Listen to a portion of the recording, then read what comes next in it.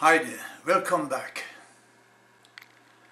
Today's clip concerns mostly intelligence research and the phenomenon I discussed recently, which for lack of a better term I will call the JB paradox. I'll come to that later. So, unless you have an interest in intelligence research, you may want to skip this session, even though I will use some examples of JB's paradox in context with our political collectives. Let's first define what intelligence is and what a mess science has made out of a simple term. The definition I worked with shortly before the Mayflower back in the late 60s was pretty much the same later described by Robert Sternberg in 1998. It includes the ability to analyze, create, and apply knowledge. Sure enough, that was not enough for intelligence researchers, who promptly came up with a multitude of intelligences, like social intelligence, behavioral intelligence, etc. Of those I will introduce here only the moral intelligence, which is based on nothing else but a belief system that distinguishes between right and wrong, and defines how to make sound decisions that not only benefit you but others around you. The latter is especially helpful when analyzing the actions of those who have been elected to serve the very people who elected them. But I'm getting ahead of myself. At this time it would be rather helpful if one understands the enormous adaptability of the brain, at times called plasticity. One of the best examples is contained in a video clip to which you can find a link on my intelligence research blog. It describes a case where a young girl had to undergo brain surgery to have half of her brain removed. We found her seizures were all, all coming from her right hemisphere. And we knew that there is virtually nothing else, nothing but Rasmussen syndrome that can produce that picture uh, in a young child. Human beings are incredible creatures with a brain that is beyond belief in terms of its capabilities, to the point where we can take half of it out and still function in a normal way. Ten days after surgery, she walked out of the hospital and today plays with her other kids on the schoolyard with little handicap.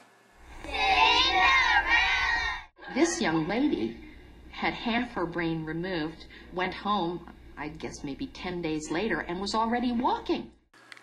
I mention this because there are still two misconceptions even among intelligence researchers. The first one is that heritage determines intelligence, yet not one single gene has been clearly linked to support that claim. Rather, intelligence is strongly influenced by environmental factors like education, education of parents, and intellectual challenges. The next claim is that intelligence is a fixed measure, an absolute nonsense, as I have shown in the late 60s by running trials on test subjects, exposing them to a carefully designed, challenging information overload. Within 90 days, the IQ increased from an average of 102 to 145, give or take a couple.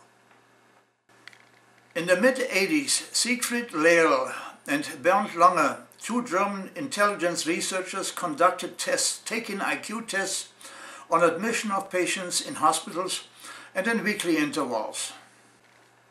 Their work showed that a lack of stimuli leads to a loss in IQ, quickly to be regained and even exceeded when re-exposed to challenging information. Dr. Lehrl's findings supported my own work.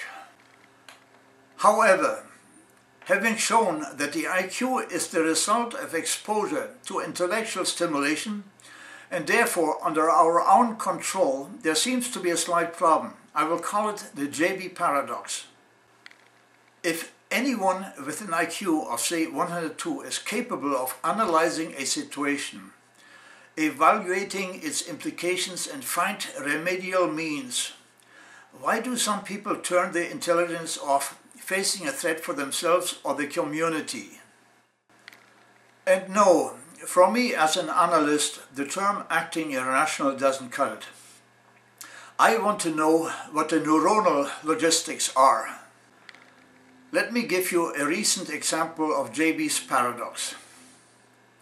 The nation facing a serious economic crisis at the doorstep of a depression. The vast majority of economists agrees that a stimulus is needed and the government is the only entity large enough to handle it. You are familiar with the donut that represents the balanced domestic monetary flow under full employment conditions. Contrary to Reagan and his successors, the government is nothing else but a community enterprise that in one form or another participates in the monetary flow. It does not matter who injects money into the donut, all benefit. Republicans now say that the only way we can get out of this hole is by cutting taxes. This is what the JB paradox is all about. They know or should know that it has never worked, especially not during the last eight years. Here's another graph. Indeed, Republicans claim that cutting taxes for big business will increase employment. Well, Exxon and Chevron had record profits in the $30 billion range in 2008. What did they do? They bought their own stock back, not hire.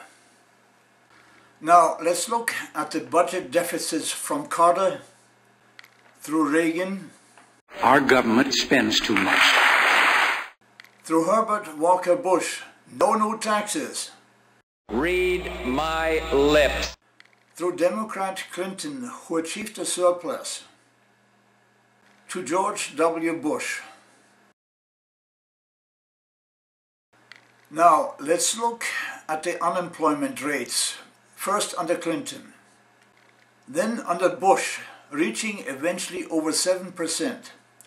Seems to me like tax cuts didn't work so good. Oh, the other song is Government Spending Has Not Worked under FDR Either. Well, the nasty thing is there are government databases and they show something else entirely.